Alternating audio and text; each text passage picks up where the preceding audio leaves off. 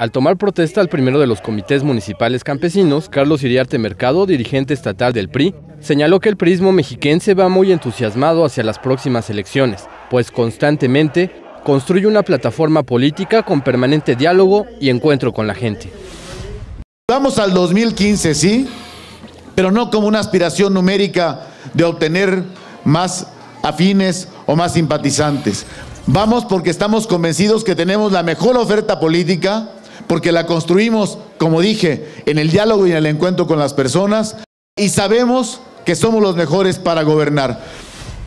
En este encuentro con la militancia cenecista huizquiluquense, pidió acudir con argumentos al encuentro con la ciudadanía, siendo solidarios y transparentes, perseverantes y constantes, pero sobre todo, tomar como referentes los esfuerzos de Rubiel Ávila y Enrique Peña en los temas de salud, educación, combate al hambre y la pobreza.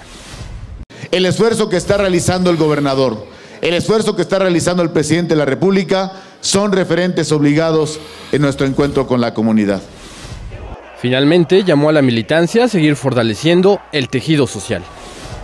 Vivir el PRI es aspirar a que tu comunidad viva mejor. Vivir el PRI es participar en la construcción de un tejido social cada vez más sólido. Vivir el PRI es estar comprometido. El PRI lo vivimos desde la casa, la familia, el trabajo, con los compañeros. Ese PRI lo sentimos, como él lo ha dicho, yo creo que todos los PRIistas que estamos aquí lo sentimos de la misma manera. Nosotros el PRI lo tenemos marcado dentro de nuestro corazón, porque el Partido Revolucionario Institucional, como ya lo dijo él, el lema es justicia social y es por lo que luchamos los priistas del Estado de México.